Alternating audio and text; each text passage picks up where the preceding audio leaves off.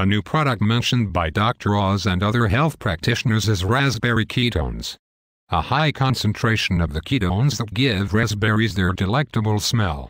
Individuals who have specific health concerns such as diabetes, asthma, or heart problems should consult with a physician before undergoing a raspberry ketone regimen.